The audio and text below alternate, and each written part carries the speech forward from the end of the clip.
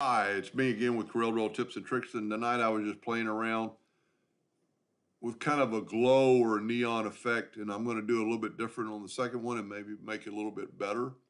I contoured this one to the outside. I'm going to contour this one to the inside. So I'm going to grab it all. I, I just wrote a text. I'm going to go to the inside 0.35 and I'm going to get a little narrower line than I had before. Matter of fact, I like it because the V's kind of spread out. And then you need to kind of figure out how big it, you know, is. So it's, it's uh, almost nine inches. So we're going to set our nudge factor on 10 because I want to nudge some things out of the way. And what we're going to do, we're going to take the Smart Fill tool. And I'm going to go ahead and go with red again. And um, I'm going to nudge take that and nudge it down, take that and nudge it down, take that and nudge it down. On those we have to do both sides. And then you take this and take your, go ahead and take your Smart Filler tool again and change it to a white. And then we want to do the inside this time.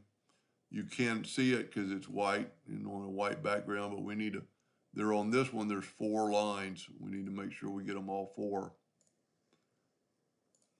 and we'll see you that in just a second if that works. Then take this part of the font and go up to effects and go blur and we're to Gaussian blur.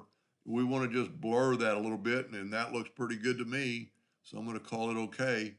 Now because we have this, we can nudge that down and that white's to go down in there. Now I'm to go ahead and uh, right click no outline so it takes the outline away. But here's the kind of the keys to get this black background with a little bit of glow coming off, I'm gonna say the neon sign. So we're gonna take a, just a rectangle and make it whatever size you want hit P. I'm gonna go ahead and nudge, I'm gonna go ahead and group these together and I can just nudge them out of the way. And then I'm gonna send this, uh, turn this rectangle black and then I'm going to get my interactive fill tool and I'm going to go ahead and go uh, fountain fill and I'm going to look around a rectangular maybe this time. Nah, you can try all your different effects, but conical is going to be your most, your best. Then just take a red and put it in that center.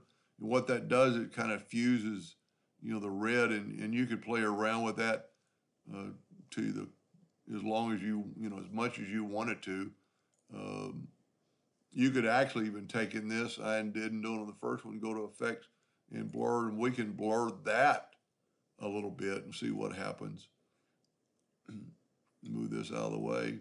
Kind of softens it up a little bit. I'm going to say okay. Our text is a little bit big, so I'm going to squish it down and then hit P. And hopefully it'll be on top of the page, but it's not. We're going to go to Object, Order, Front of Page. Takes just a second because there's so much going on. Pretty cool effect. If you printed that on a black t-shirt or just as a sign or printed it and you know you could play around with the different you know this one I contoured to the outside the other one I contoured to the inside so it made it a little bit thinner uh, half one. You know, I think on the other one, I actually uh, blurred the uh, the uh, outline a little bit more on this one than I did on this one because it the outline's kind of standing out. Uh, it is blurry, but not that much. But it does look like a neon sign effect, especially when you zoom in. I hope that helped just a little bit. Thank you for watching.